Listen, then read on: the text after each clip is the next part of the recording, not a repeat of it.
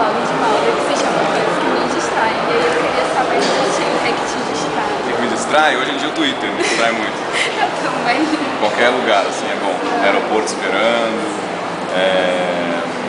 em casa, quando eu tento, assim, eu sempre, depois do almoço, principalmente, eu sempre fico uma meia hora assim, no computador livre, eu me dou um tempo livre, aí eu fico no Twitter, assim, falando com as pessoas. Eu gosto muito de, de dar essa, esse feedback, eu acho que porque é tanta gente que escreve e aí às vezes não dá tempo de responder e tal, tem tanta gente carinhosa que faz questão de retribuir. Ah, que bom.